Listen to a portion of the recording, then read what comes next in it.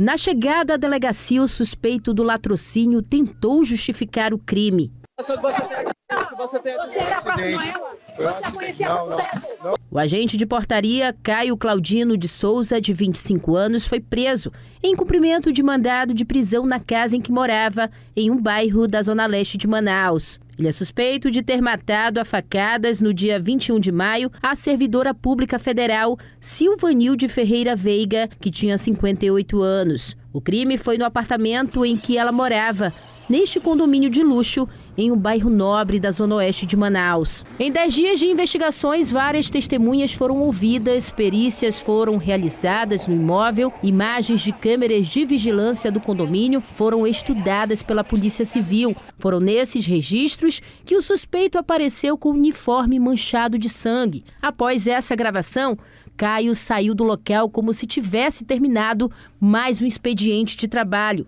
A essa altura, Silvanilde já estava morta. Segundo informações da polícia, Caio teria sido contratado para trabalhar na portaria somente aquele dia. Há relatos que ele teria entrado na torre às 5h52 da tarde e estaria sob efeito de entorpecentes. Teria, inclusive, batido em alguns apartamentos em outros andares. Chegou no apartamento da servidora, pediu para olhar o quadro de luz. Foi exatamente ao entrar no apartamento que ele mobilizou essa vítima. Ele aperta vários andares desse prédio, ele não aperta só o 14, pelo contrário, ele começa pelo 15.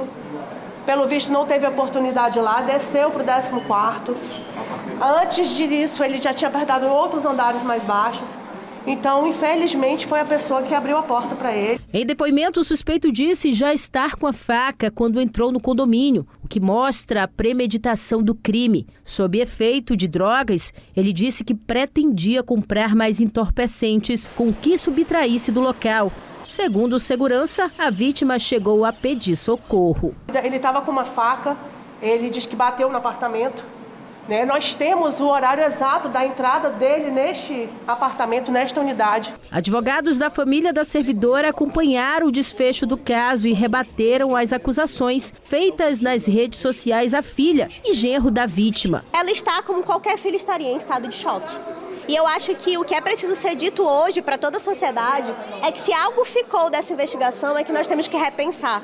Nós temos que repensar que é muito fácil apontar o dedo, é muito fácil julgar, é muito fácil não ter a empatia de se colocar no lugar da pessoa que está sofrendo e, ser, e sermos fiscais do luto, né? Porque as especulações foram: faltou emoção, faltou choro, teve frieza, mas só uma pessoa que perdeu o pai recentemente que perdeu a mãe, que mora sozinha num estado onde todos os seus parentes estão longe e não tem o apoio de ninguém, a não ser de poucos amigos, pode entender o que é estar completamente sozinho e ter toda a mídia, toda a sociedade, todas as pessoas acusando o dedo e fazendo especulações sobre a sua dor. No IML, enquanto fazia exame de corpo de delito, Caio se disse arrependido. Quero pedir perdão para minha mãe, entendeu? Primeiramente, para minha esposa, para meus dois filhos. Nunca machuquei, nunca bati homem menor que eu, entendeu?